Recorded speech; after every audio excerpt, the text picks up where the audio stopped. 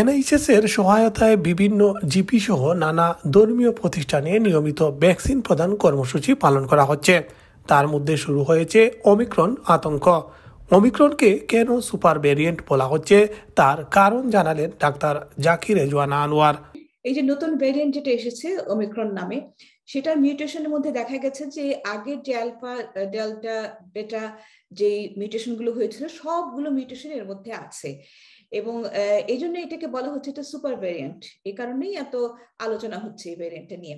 তবে যত নতুন ভ্যারিয়েন্টই আসুক না কেন, এখনও পর্যন্ত এটা ছড়াবার পদ্ধতি কিন্তু একই এবং এটাকে প্রিভেন্ট করার পদ্ধতিও একই। সেই একই আপনারা সবাই জানেন মাস্ক ব্যবহার করা এবং ঠিক মতো মাস্ক পরা, নাক মুখ ঢেকে মাস্ক পরা ভেন্টিলেশন করা, দরজা জানালা খুলে হ্যান্ড স্যানিটাইজ করা ভিড়ের মধ্যে কম যাওয়া, এই সবগুলো কিন্তু আগের মতোই আপনাদের পালন করতে হবে। তবে যে পরিমাণ লোক ভ্যাকসিন গ্রহণ করছেন তা করোনা এবং তার ভ্যারিয়েন্ট রোধে যথেষ্ট নয় বলে মনে করছেন চিকিৎসকরা। তাই ভ্যাকসিন গ্রহণের আহ্বান ব্রিটিশ বাংলাদেশি ডাক্তারদের। আমরা যারা ব্রিটেনে আছি, আমি বলব তাদের ভাগ্য অত্যন্ত ভালো এই কারণে যে আমাদের প্রচুর ভ্যাকসিন রয়েছে। কাজে আমাদের ভ্যাকসিন দেওয়া উচিত এবং অনেক দেশে কিন্তু এখনও ভ্যাকসিন চেয়েও পাচ্ছে না তারা। এবং এর বাইরেও আপনি দেখবেন যে অনেক দেশে কিন্তু ভ্যাকসিন বাধ্যতামূলক করা হয়েছে। অস্ট্রিয়াতে যেমন, জার্মানিতে খুব শিগগিরই করা হবে। এবং আমাদের দেশে সেটা এখনও করা হয়নি। তাই নিজে থেকে আমাদের সবার নেওয়া উচিত ভ্যাকসিন যারা তরুণ, তাদেরকেও বলছি এবং বাবা মা যাদের ছেলেমেয়েরা স্কুলে যাচ্ছে তাদেরকে আপনারা ভ্যাকসিন নিতে পরামর্শ দেবেন।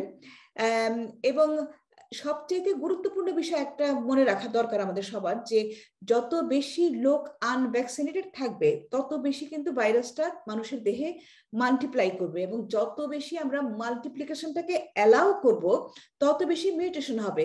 কাজেই আনভ্যাকসিনেটেড লোকের সংখ্যা বেশি হলে কিন্তু এই কদিন পর পর একটা মিউটেশনের একটা ঝামেলা থেকেই যায়। এনএইচএস এর হিসেবে বর্তমানে যারা হাসপাতালে ভর্তি হচ্ছেন তাদের আশি শতাংশই ভ্যাকসিন গ্রহণ করেননি। ভ্যাকসিন গ্রহণের প্রয়োজনীয়তাও ব্যাখ্যা করছেন তারা।